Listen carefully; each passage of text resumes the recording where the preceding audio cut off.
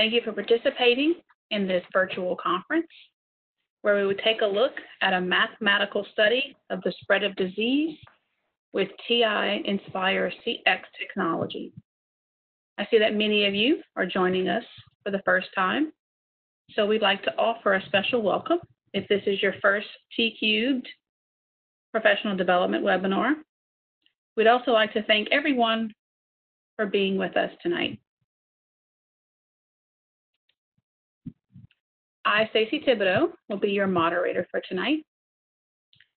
I have taught science for over 20 years, including Biology 1, Chemistry 1, and AP Chemistry 2. I've also taught biomedical science courses in the Project Lead the Way program. I love to use TI technology to assist me daily in teaching, data collection, and modeling mathematics concepts, linking them to science content. I'm happy to introduce our panelists tonight, Jackie Bono and Louise Chapman. Jackie has taught for 37 years, primarily chemistry and physics. She is currently retired and consults for Vernier Software since 1990 and Texas Instruments. Jackie is the author of the TI Forensics book.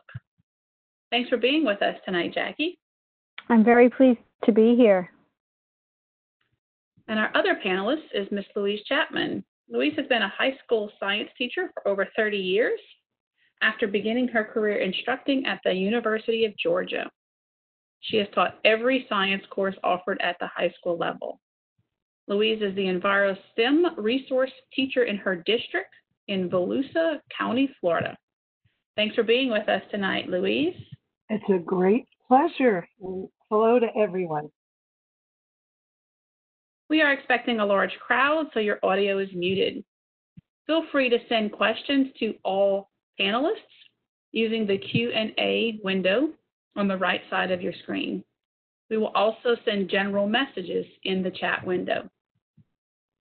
This session is being recorded, and as a reminder, we will provide a link to this event's certificate of attendance at the conclusion of the webinar.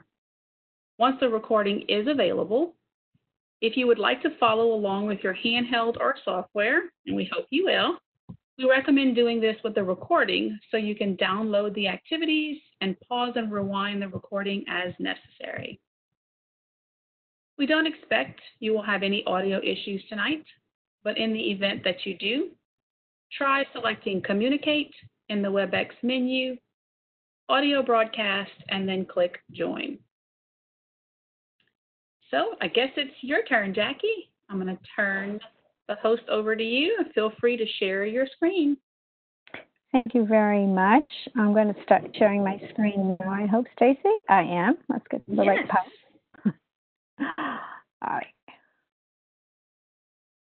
So um, this is built as a mathematical study of the spread of disease using the TI Nspire. When Louise and I first uh, presented it for T Cubed International in Dallas, it was built as, oh my, did you die? Um, and this is our contact information for both Louise and I.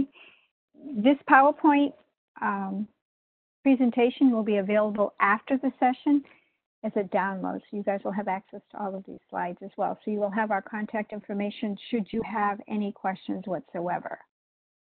And one thing that I would just add, Jackie, is that we did not have a crystal ball and anticipate the state of the world for all those people who think we we knew it was coming. Yeah, no, this this was an interesting presentation. We had no clue, although it does tie in with current events, uh, for sure. We were planning on doing a very hands-on activity and some analysis, and then exploring a TNS file. We've done our best to take that hands-on activity and um, show you how you can sort of do that online so you could in fact do that with your students if you had to be remote or if by chance you had a flipped classroom actually like the last webinar on Tuesday night. So that's our agenda for today. Louise, you want to go over these? Um, yes, um, we are.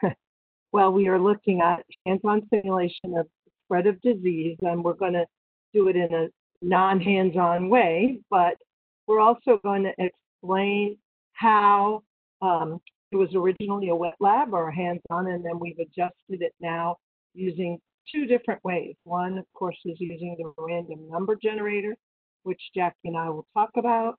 Um, there's also a handheld simulation, and then an explanation of some extensions and some mitigation and some other opportunities using the TI uh, technology as well as um, the handouts will be available for all of the parts. So God willing, we're back in brick and mortar schools soon. You would be able to do it in the fall. So um, this activity actually first started when the spread of AIDS became a very hot topic in the very early 90s. And disease is spread by chance or intention. We are believing that the coronavirus is obviously by chance. There are other diseases that spread by intention. We're exploring some of the forensic um, applications because you could purposely spread a disease. And those of you who remember the Numbers series on TV, there were several activities on that series as well that dealt with the spread of disease. And we're going to try and chase it back to patient number one or the person who started the spread of the disease. Whoa, I just went way ahead. Okay. Yeah. My computer is very active. Oh, okay. Um, we'll look at data from our activity to find the source, and we'll explore those mitigating factors that um, Louise mentioned in order to speed up or slow down the spread of the disease. The scenario here is the tracking of the spread of disease within a class. And um, that class that we set up was a class of 31, and everyone would get a cup. That cup would either be clean with just water or else it would be contaminated. And in the activity that we were talking about doing, one of the cups would have a base. The most common base that we would use is sodium hydroxide. So um, you take a tray, uh, take some little Dixie cups, put numbers in those. Everybody gets a little bit of liquid in every cup, and um, they need to remember their number. Now, it's very important that you know which number is contaminated and that that cup gets given out. So if you have too many cups and no one gets the contaminated cup, obviously this activity will not work because you will have nobody spreading the disease. Um, after they share their bodily fluids, they will write down the number. If you're doing this um, in an actual lab, you would write down the number of the person you shared with. Um, and then you would take a drop of your solution and you would put it on either a spot plate or a plate that looked like this. So imagine that you have your cup and I say find someone and share a bodily fluid and you swish the two cups together. Then you each take a um, pipette and you put a drop on the appropriate number. Now, this would be a laminated sheet, or it would be a sheet that had wax paper over it, or you could obviously use a spot plate. The purpose for this sheet is only so we can find out who that first case was. You don't really need the sheet other than that, um, but it is a way to trace it back. So there, there would be one common one for um, Each run. right each run. At the end, after we've shared our bodily fluids a number of times, you will walk around with some phenolphthalein and you put a drop in each cup. If the person is not infected, it would be the clear cup that you see on the right. If the person is infected, they will have a pink color that you see in either one of the other two cups. And obviously, phenolphthalein is an indicator um, for that, the presence of um, whatever uh, base. Base. Yeah, in the water. So, And we're using phenolphthalein. I mean, you could use universal indicator, uh, you could use pool indicator for that matter, just so long as you can tell if it's an acid or base. It doesn't matter what you use. and for those of you who haven't used phenolphthalein, it's very inexpensive, easy, and um, kids do really well with it. So you can get a really big bottle for like 12 bucks. Right. Yeah. And you only need a drop per cup, so it's you Right. don't need a lot. All right. So th- this is this chart here is very very small print, and I apologize for that. But this is how I simulated the sharing of cups. because we obviously can't hand you cups and have you share your bodily fluids. And so I made up an imaginary class of 31. This spread, this Excel spreadsheet is also in the documents that you um, can get at the end. So if you were person number one, you would share with person number 22. If you're person number two, you share with person number 23 um, in the first sharing. And so this is just a way to track it.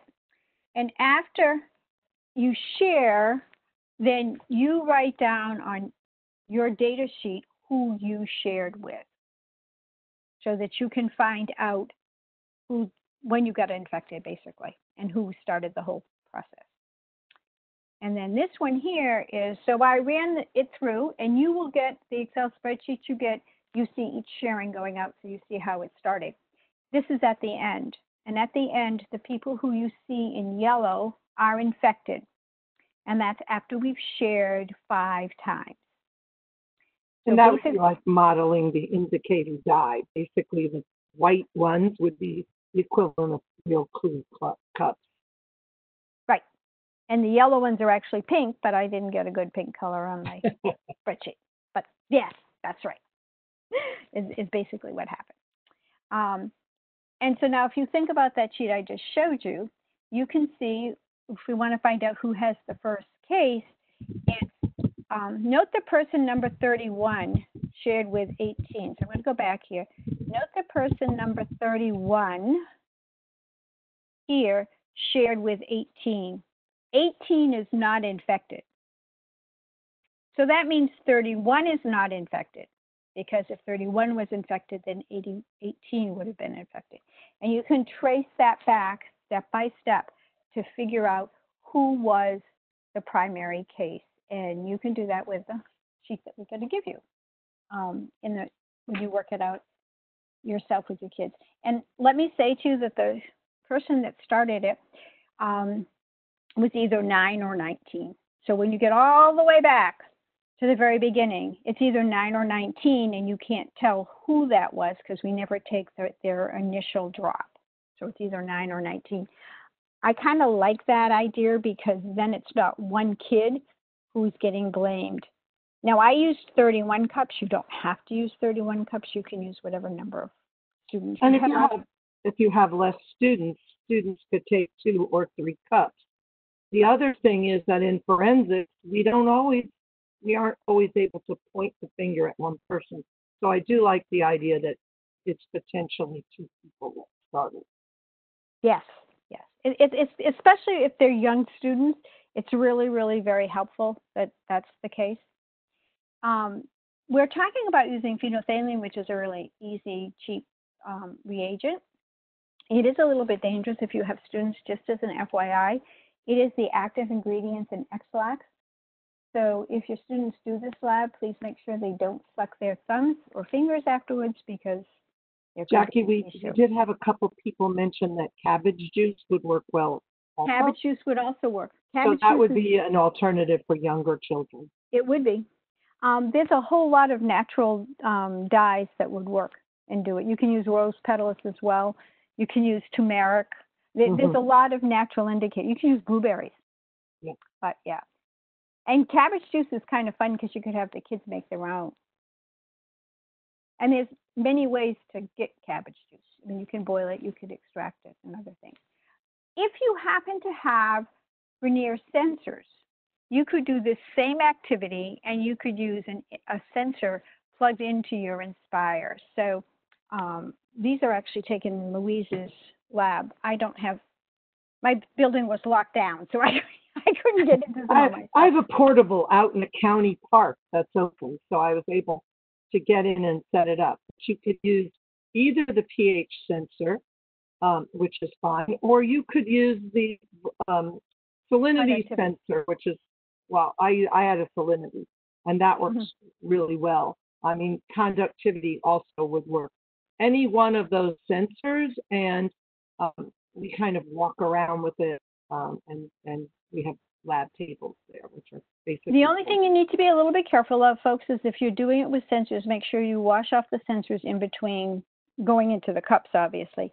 And notice here, this is, so this is the TI Nspire. Just so you know, it can also be done with the 84. This is something called an EasyLink, which plugs into the mini USB at the top of your Nspire. And then this is the vernier sensor, and it must be a vernier sensor. It can't be another company sensor in order to work with the Oh, TI calculator. And if you're doing conductivity, you can use the sodium hydroxide or soap, any, any base, or you could also use salt in this case. So you could And this is my salt. conductivity sensor, I'm sorry. Yeah. Um, But, So any of Linity would do the great. same thing. and also I will point out, if you're not used to using sensors, on the right-hand side is the result of sitting the sensor in the cup. So Oh, make yeah. sure they hold on to it. yes, yes. Um, and then this one here is the pH sensor. Again, the same thing. And this is when you plug the sensor into an Nspire, this screen will automatically pop up. The program is, is preloaded into your Nspire and it's Vernier's DataQuest.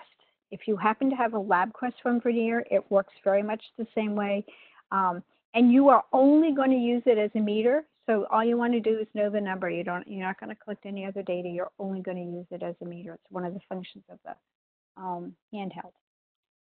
Now, if you're a math teacher that doesn't have sensors, you can either borrow them from, from science or you can test it with cheap pH paper and then record it in a table in your Nspire. Right. And that, that again, the the nice thing with that is the talking of math and science people together. I mean, that's that's really kind of um, good science and, and good STEM going on. Another way to do it, if you can't do it using the spreadsheet, like so, first way to do it is obviously to wet lab it and actually use the cups. If you if the kids are home and you can't do that, up in New England, we have other days that, that are work at home days because we have snow days where I, I know some parts of the country don't have that. Um, Like me. yeah, we have hurricane days.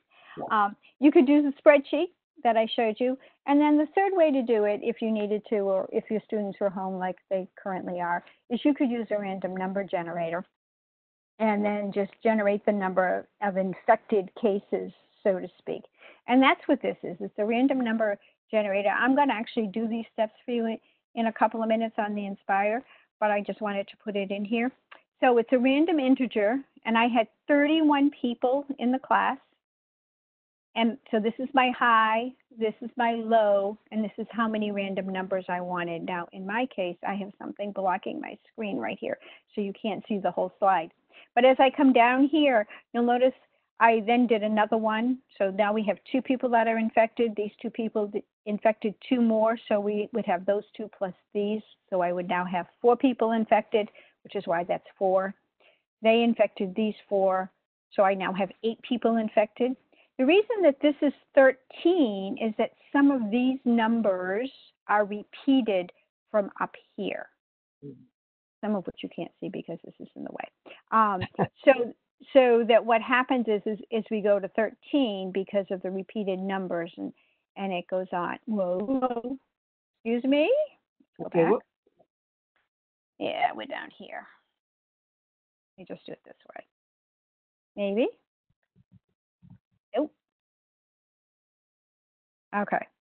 Um, while she's Sorry. getting back to it, um, I will tell you that um, you you can easily try a variety of ways, and we're going to show you some other ways as well. But um, you might even try the random number approach and the cup approach, and then see if you come up with the same information.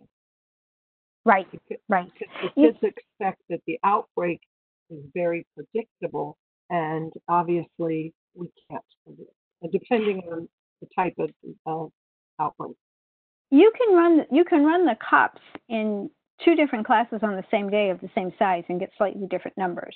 It depends upon if kids share with a student who's already been infected or don't.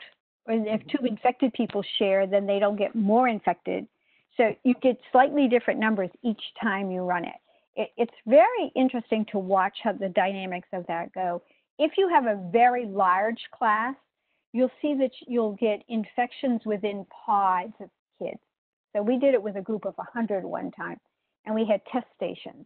And we saw that you got that exponential growth, actually logistic growth, um, within a group. and then once it dropped, jumped over to group the second group, that same spread happened within that second group.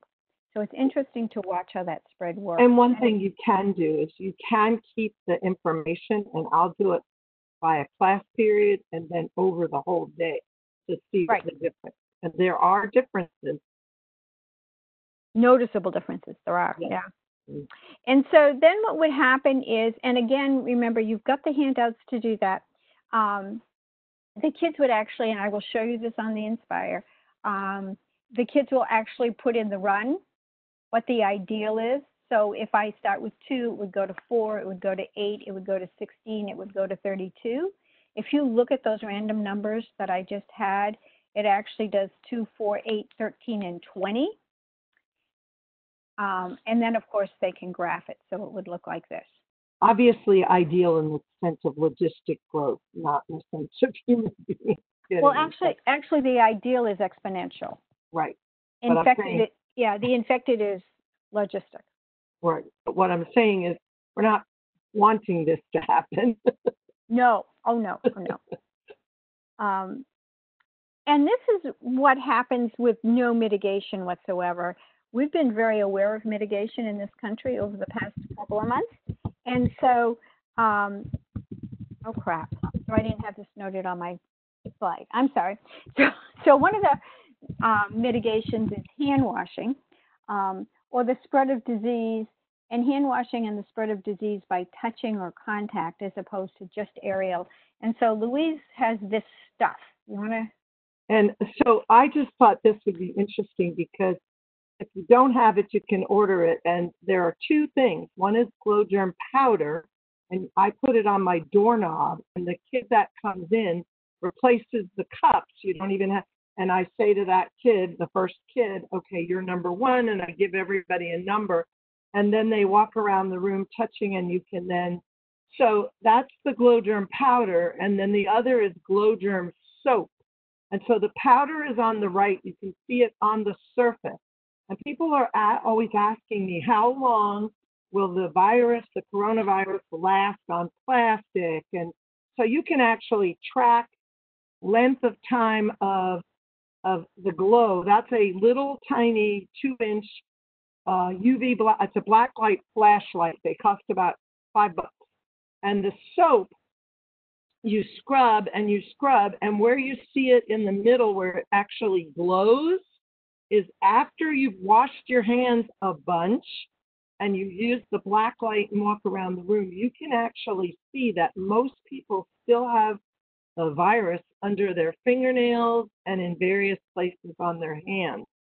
So people who just don't believe in uh, cleaning the surfaces, cleaning groceries when they bring them home, they don't use a nail brush or a real scrubbing material to wash their hands, may be indeed transmitting germs. And I thought it would be sort of interesting for you to see because the earlier stuff showed us density dependent, which is why they say no more than 10 in a room. You know, as soon as you get to 100 or 20 or 30 in a room, you're going to spread it. Well, the same thing with this, and it's very inexpensive, but it also goes along with it. And um, it might be great for math teachers because it doesn't make a mess and you don't see it until you use the black light. Well, and it's really good for elementary kids. I mean, the idea of washing their hands and everything. I mean, so so it carries a lot of other use too. Um, they use it in nursing schools a lot too, which is kind Yeah. of scary. Well, it's to teach it's to teach doctors and nurses why they use certain scrub all the way to the elbow. And so, um, how can you mitigate? We can. Well, there are several ways to mitigate. One is vaccination. In the model we're talking about, was using a, basically a base as our contaminant. If some of the cups contained a buffer, for example, we would see that those buffers did not change when we added the base to it. So consequently, we would sort of take them out of the mix of spreading the disease, and obviously, they then wouldn't go forward and spread the disease. Social distancing we could mimic um, in or model it in our cup sharing idea. If let's just say that every fifth person skipped a share or two of, of um, their bodily fluids, then what we would see is those numbers dramatically go down, which is, is what we're seeing. And then, of course, the hand washing, which um, is a dilution. It's, it's not a uh, total, you know, doing away with, as Louise just showed you. But, well, um, and part of that is people believe that um, hand sanitizer and scrubbing soap, it is not the bac- antibacterial materials in the soap, it's the actual friction that kills viruses and bacteria. So, um, you know, as much as we say use hand sanitizer, hand sanitizer is primarily against bacteria. So it's an interesting thing too. Well, it has, and it also has to do with denaturing the the outer shells. I mean, the, between the Right. soap and the alcohol and the sanitizer. So now we want to show you some stuff on the actual Nspire. Are there any questions we have to hit right now, or are we in good shape? I think we're in good shape. Um, I will say to a couple of people that were asking, um, if you're interested, uh, Bill Gates has a really great TED talk from about a year and a half ago on on the prediction of this kind of virus, the, of of a respiratory virus that you're asymptomatic for a period of time before you get it, and it has some really great uh, applications to using the TI technology to show some of that. So if you get a chance, look for that TED talk. All right, so this is the TI Nspire. I'm using the teacher software. I'm using the premium teacher software. Just so you know, TI has made the software available to you for free and to all of your students for free. So if your students are home and they didn't take a TI Nspire home with them, or you don't have enough for all of your kids to, to use at home, you can use the software. And that's actually what I'm using right now is the TI software. So I've opened up a new document and I'm going to add a calculator page. And this is how I'm going to do the random integer piece for you folks. And so this is just the calculator page. I'm going to go to this book. I call it my Bible. It's my favorite key.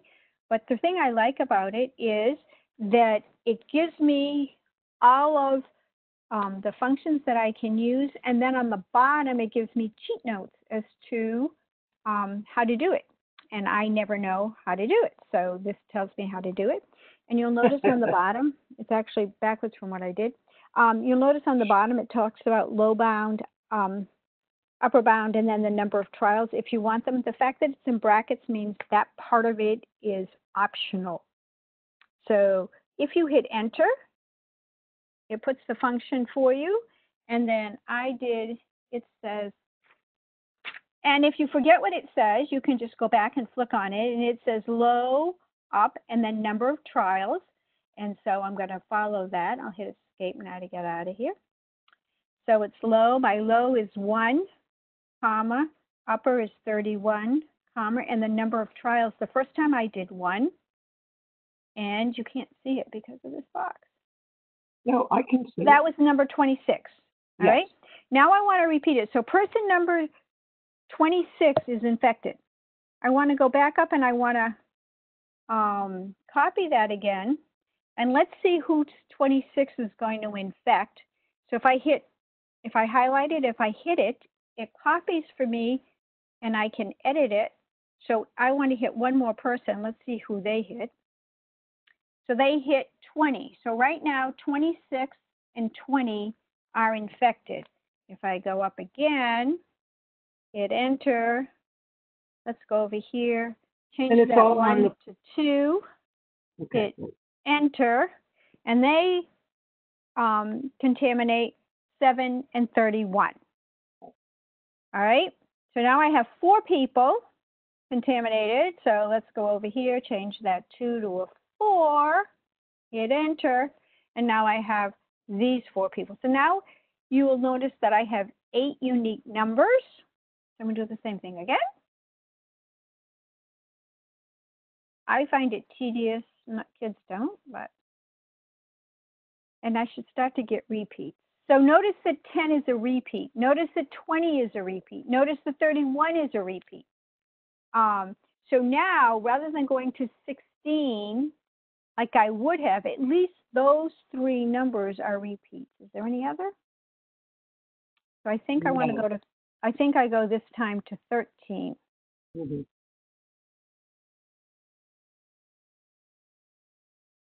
All right. And so this is the way that you get your random numbers um, generated. These people are infected. You'll get something very similar to the spreadsheet. What we'd then like to do is we'd like to graph it, and we would like to make that little chart like I showed you um, previously. And what I'm going to do is I'm going to add a page. I did Control Doc to add a page, and I'm going to add a listed spreadsheet.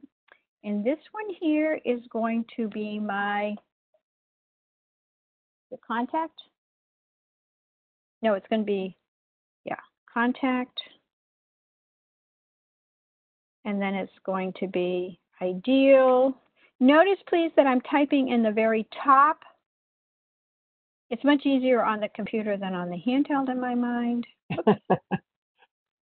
Um, and then it's going to be actual. Okay. And then over here it was one. Where am I here? Two, three, four, five, six. And the nice thing about the Nspire is, by the way, your lists don't have to be the same number. The ideal here obviously is one, and then I come over. And then the ideal here is one in, one is two, and it's four, it's eight, it's 16, it's 32, and it just keeps, this is also assuming that one person affects only one person. When I did the random numbers previously, over here I had two, four, eight, two, four, eight. No, crap. No, I think it was one, two, four, eight. That's it. This number here has to be one. And then it was twenty. The nice thing about the random number 13. generator that I, that I like is that you can do a whole lot of ones and kids can see what happens over time. Yes. I mean, there, there's a lot of really good stuff you could do. Now, if we were to graph this, and folks, I'm going to graph it um, using a data and stats page, which is what um, a lot of people really like. Those of you who haven't seen this, this is a really neat page. Um, and on the bottom down here, I get to, I just click on it, and it's going to be contact. It's love them, them moving like that. And then over here, it's going to be ideal. And that, so that's what the data would look like uh, ideally. If I want to put in the actual, if I come over to, see if I can remember how I'm doing this now. I'm going to come over to menu, and I'm going to come over to, what am I going to come over to? Actions, I think. I wrote it down and now I missed it. Nope.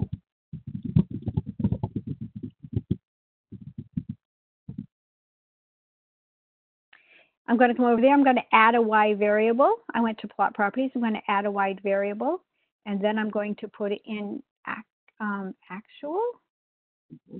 And I can see the plot of what actually happened. Now notice I'm kind of um, coming in less than the ideal. I'm flattening the curve, so to speak. I'm getting less than predicted. And so the kids can do that kind of stuff um, right within the Nspire and, and graphing it. I can then do, if I wanted to, I can do the analysis. I can get the logistics curve for the actual, and I can get the exponential curve for the ideal if you wanted to do that, depending upon the level of student you have. And folks, there is a handout um, that you can download. It's who Yeah, started she's already it all. shared, uh, Stacy's already shared the link to the, here. Okay, it's called Who Started It All. Unfortunately, when I printed this off of the um, website, when I got it from the website, the teacher pages are first, and then the student activities. So just pay a little bit of attention to that. Okay, so that's on the Nspire. And there's also a really other neat TNS file that you can download. It's called the Spread of Disease. And so Louise and I, um, when we were going to present in in Dallas at Yes. Um, we had decided that we were going to do this, and Corona wasn't around at the time, but we were going to do this with the spread of disease. And we wanted to take the old zombie, which isn't that old, the zombie activity, and sort of make it generic. The problem we had is that some of this stuff is hidden. So if John Hanna is on, I want to give a big thank you to John Hanna because John Hanna allowed me to change labels on graphs that I couldn't change. In one case, it was because they were in Lua, and he actually wrote the programming behind the scenes of the Lua. That's in problem two. And in the other case, there's a hidden spreadsheet. So some of it you can tweak and some of it you can't. It's locked down. But you could actually go in this um, yourself and change some of it. So if you were a bio teacher, as we go through some of this, I'll show you where you could actually go in and change the text and really make it more relevant for your kids. So those of you who um, have Nspires, you can send these files out very easily. If you have a navigator, it's easy. If you don't have a navigator, you send it to one kid from your computer and they share, just like they share diseases. Um, and it goes very quickly within your class, just as the disease will. So this is um, the spread of disease. And this is a virus. You can change that picture. I mean, I just went and grabbed a picture and put it in. yes, Um, you could pull Corona for Corona. Yeah, it's a slightly Yeah, different picture for corona. Right. Um, and it's a virus outbreak has been discovered. Um, what are they called? Epidemiology. Epidemiologists are trying to figure out what to do to stop the outbreak. Um, many modes of transmission, depending upon the mode needed, will affect how fast it spreads. This virus is airborne. We're saying it's being transported by saliva drops in other individuals. So as a biologist, Jackie, Mhm. the Corona 19 is an airborne saliva uh, Yep. one. And Mhm. the other thing is that if you're not a science person, you're more math. One thing you should know about viruses is if they can take off their entire outer coat, so think of it as your winter coat and winter attire, and now they have another coat underneath, so viruses can change and mutate into other viruses. Hence the 19, just so that you understand where that came from. And then I'm just going from page to page on this. Um, as with all, it is assumed the virus started with one person becoming infected. And then in this particular case, they're saying that each person affects two people per week. They're saying that corona actually, if you put a person with coronavirus in a room, they would typically spread the disease to three, where believe it or not, the measles spreads to seven. So actually, measles are more infectious. The thing with measles is that we have vaccines against them and we have some built-in immunity because they've been around for so long. The problem with corona, of course, is neither one of those two things is true. And so what happens is we watch it grow. If we come over here, this is how many people would get infected over a period of time with a number of weeks. Um, they, it is related to 2019 when it first appeared, but it is believed that there were other iterations of this virus. Um, but it probably appeared longer before, earlier than 2019. Jackie, I did want to mention one thing about that graph.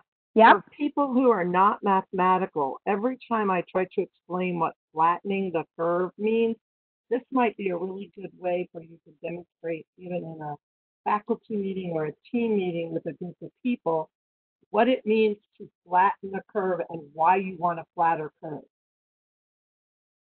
Well, if you flatten the curve, then this here just doesn't go up. It becomes logistics. It's kind of like carrying capacity. So what happens is, is then it comes over here. We're Mhm. still growing. The state of Connecticut is a great example. I mean, we've theoretically flatten the curve, and the governor says, "Oh, isn't this great? You know, we have 41 less people in the hospital. Yeah, but we still have, I, I don't know how many, over a thousand people actively in the hospital right now, and it's, and it's, um, we're down 41 cases, but that's because 89 people died. And so we still added more people to the hospitals, but um, it's not going up as fast as they expected it to. And So, that in this is itself biologically is significant. Right. Um, and, and that is the ultimate goal because with viruses, which are not treatable with medication, um, that's the best we can do until we zero the curve. right. And, and so what's happening is it's coming over here. Um, and then going on to the next page here. So what happened is this is the TNS file, and if you have a Navigator system, you oftentimes build questions in. These questions, I also um, gave you a, actually a copy of the TNS file as a PDF file um, that you can download, so you can actually see it page by page. If I were doing this and I wasn't going to collect it uh, electronically because I didn't have a Navigator, there's no reason why these kids couldn't ask the questions, um, answer the questions on a sheet of paper, and it the greatest rate of infection occurred between what two weeks? Um, looking Mhm. back at that graph. The next one is using the graph the rate of infections to be appears to be very close to zero because of the scale. Talks about um, And we'd have to- scaling. We have to fix the number of zombies because obviously this is from uh, zombie, oh yes. zombie apocalypse, but we will, you can edit, so you can change. so i could just go back over here Mhm. literally folks on your um, page it's the number of infected Right. And if I save this, Mhm. here, now it's saving it and it will be infected instead of zombie. So you have the ability to do that without any problem. And that's one of the beauties of the strength of the Nspire is that you can create these questions. They can be relevant to your grade level, to the content, um, and you can use it in advanced classes. And of course, the questions can be certainly a higher order. So, And and the bottom line is is that I don't want to tell you how many people have read this TNS file and how many times. but those kinds of things can easily be fixed when you find them. So it's it's not the end of the world should you make a mistake like that. You can fix it for the next time. And then this here is another spread of disease, and all of this contains the original data. This graph is three and 4 mm-hmm, mm-hmm. and you know what I should do is this. Okay, so this is going on. Notice that this spreads it out more. This is the next question. What is happening with the rate of after week 30? So if I go here. So you, what would you think would happen? Well, eventually you're expecting it to level off because eventually everybody's going to have it. So even if you don't mitigate it, this will burn itself out because everybody will have it. So there'll be no more um, infection increasing. Is what's going Unless- it can reinfect the same. Unless it mutates too. Right. And so one of the things that they're doing right now, for those of you not be aware, and she's talking about virulence, which is the next thing. All right, you want to talk about it? Um, so we've been looking at virulence in this particular um, disease that's running rampant now, and people are donating their platelets to see that it had it, to see if they have immunity, and they can offer immunity, which would then allow us to develop vaccines, or whether they will be reinfected.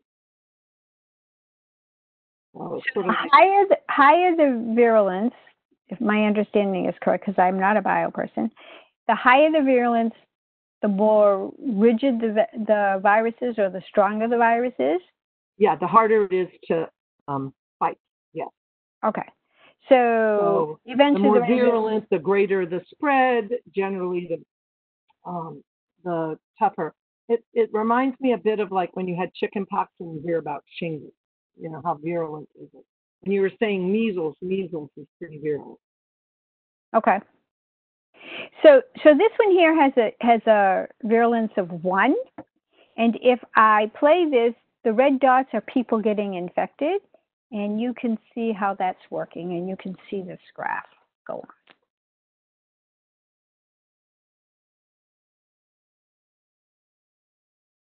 And what I love about this is if you notice, the density of the population matters. So the people that are all clustered in near the person with the virus tend to get it more quickly on the further apart. So if you live in Montana in a town of 200, you're probably more socially isolated than I am here in Daytona Beach where the beaches are still open.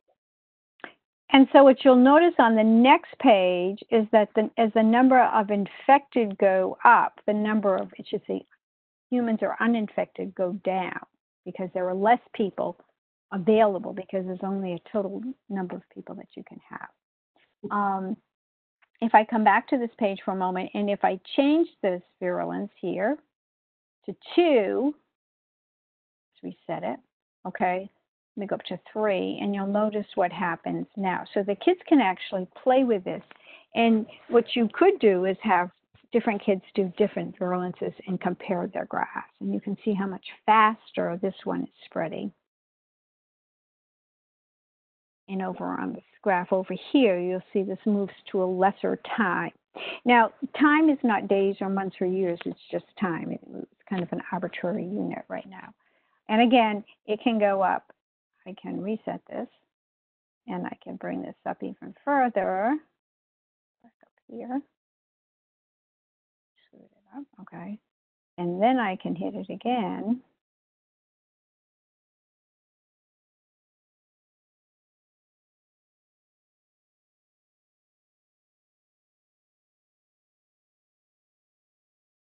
So several of the calculus people are seeing the parts where they can use the logistic differentials and BC.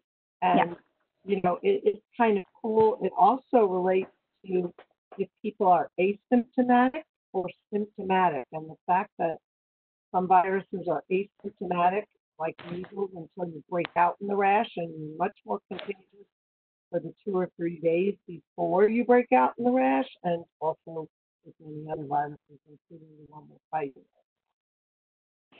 All right, so then again, there are some questions. These questions you can either type out or copy um, if you wanted to, or not ask. If you didn't want to, you can quite literally drop the slide, and the slide wouldn't be there before you sent it out.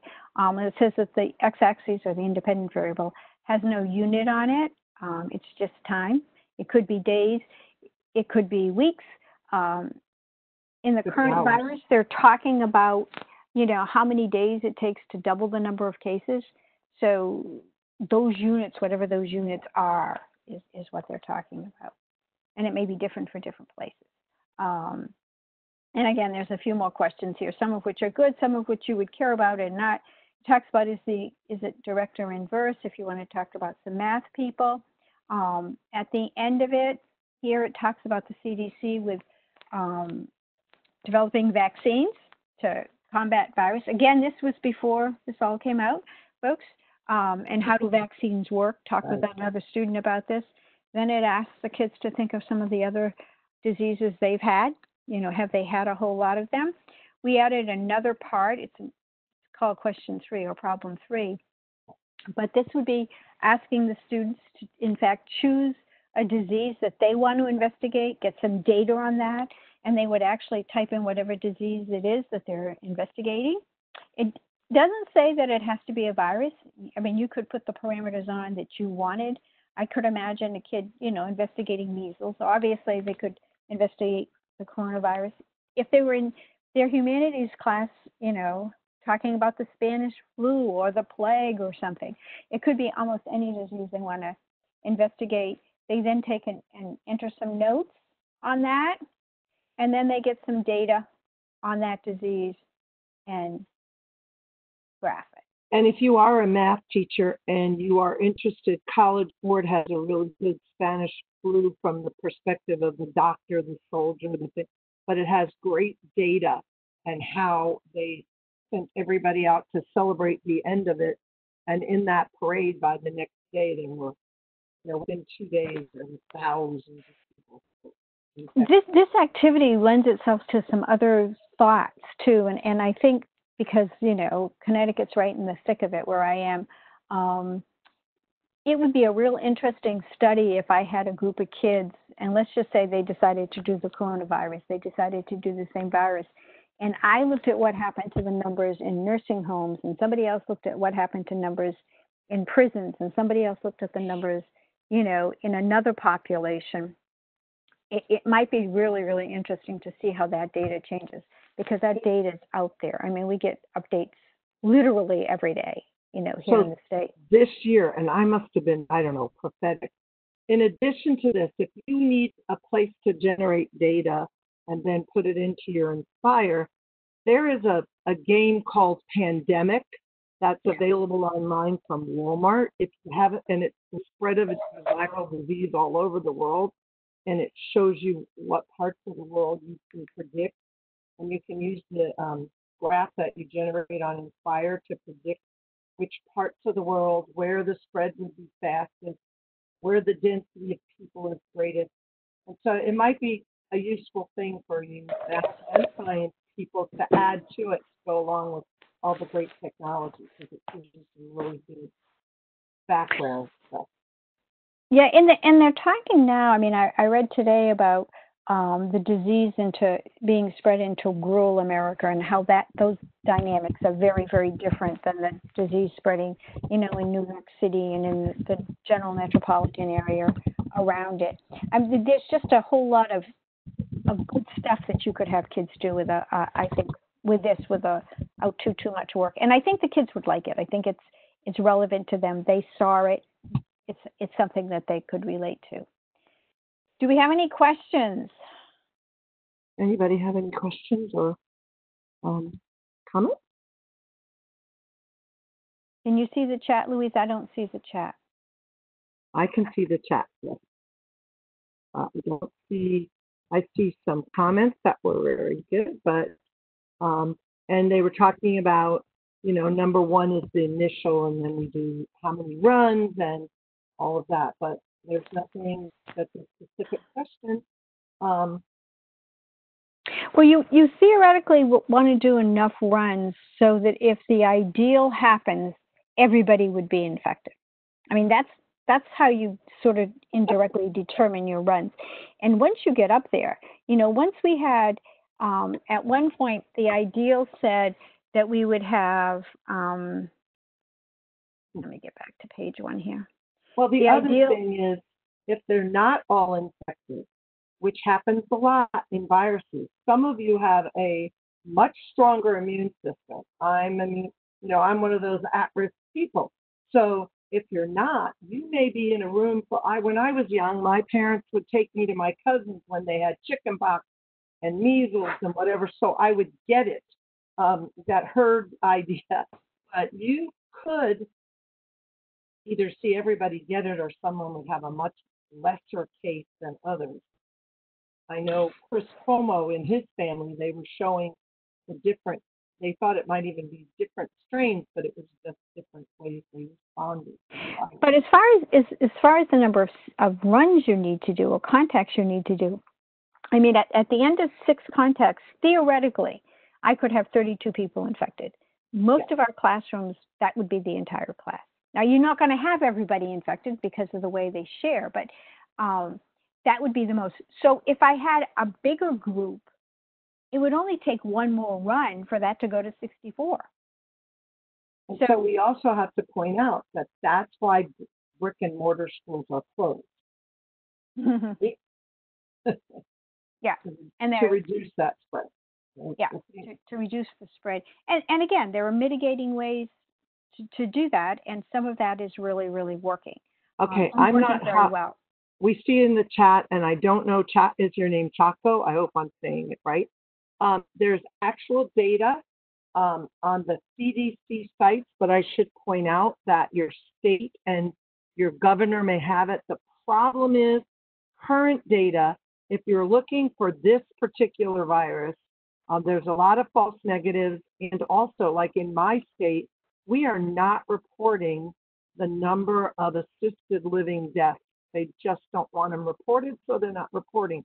But if you're looking for the spread of cases, um, depending on where you live, you can go right online and, and the CDC or the National Institute of Health have really good sites with actual data.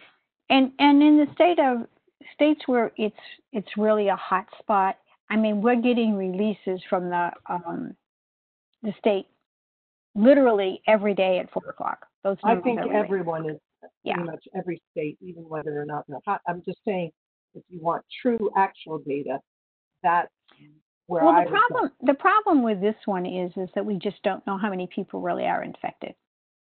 I mean, that's that's the other piece. I mean, we don't know. It's not as clear as putting phenolphthalein in a cup and it turns to Um, washing because- hands. right. yeah, not not everybody is being tested, And so the numbers jump when more people are tested, but that, that's giving you a truer number. So, I mean, there are places that testing just isn't being done. So you just don't know, or you only can get tested if it's um, symptomatic.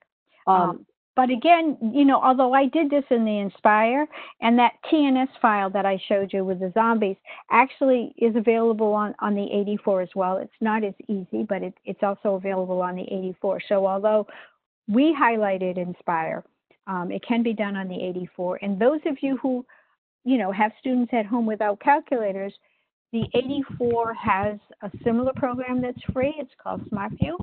And they also have an app for the Chromebooks for the 84 that's free. There's also an app for an iPad that's actually the Nspire that right now is free. So TI has really gone above and beyond to make it so that this is accessible to your students. so we have a couple questions. One is um, the TI uh, website, does it carry the free software? Eric, do you want to handle that one or do you want to? Okay. Um, and I Um, know they're also saying John Hopkins University Medicine has got good data. Um, yeah, any of the reliable medical sources. would be good. Yeah, it's it's everywhere. I mean, okay, so I'm trying to give this back to you, and I can't seem Stacy, to do it. yeah. Stacy, thank you, and thank you all. Yeah, I'm trying Yes, to get. thank you. Thank you, ladies, so much.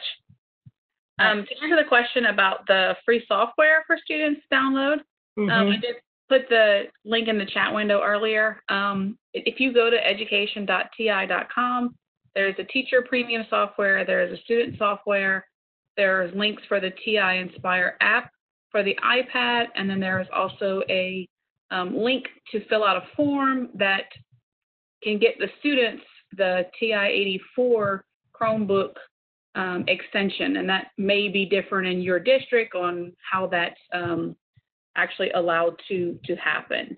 Um, so thank you guys, Lee ladies did a great job. Um, thank you so much for for all your work. Um, real world application um, allowed people to see how you can take a science lab, science equipment, and then bring it into a technology based lesson, and then also bring it into a real world problem. Um, as we guys, as we are here nearing the end of tonight's webinar, make sure if you have any questions or comments for Louise and Jackie, you put it in the chat. They'll try to answer.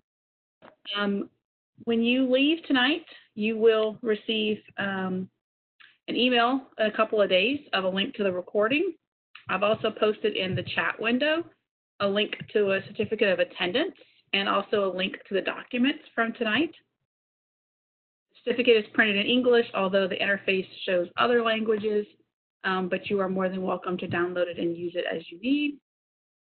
You will also receive an email um, about a survey right after this session. So if you could please send us your um, suggestions for upcoming webinars or ideas that you have for more sessions, just like tonight. If for some reason you need more information, um, TI Cares is your uh, tech-friendly um, organization that can answer uh, qu- customer questions, maybe customer support, technical reps, 1-800-TI-CARES or TI-CARES at ti.com. And they really do listen to teachers. Um, next week, we're going to have another session, uh, still a virtual conference. Next week, May 5th, we're going to look at functional art, creating pictures by transforming functions. We're going to connect math and art together. So like I said, uh, great job tonight, ladies. Thank you guys so much. Uh, thank you for all of your hard work. Um, I know it's it's different taking time out of your busy schedule um, to come up with a virtual conference session and trying to make it as user friendly as possible of what you would do, like Louise said, in brick and mortar, but also incorporate the technology um, and also giving us a real world application um, to what we're dealing with currently. And thank you guys, all of you, for joining us tonight. We appreciate you guys being here. Thank you, Stacy, Thank for all you. your hard work. Yes, thank you. It was Good a great night.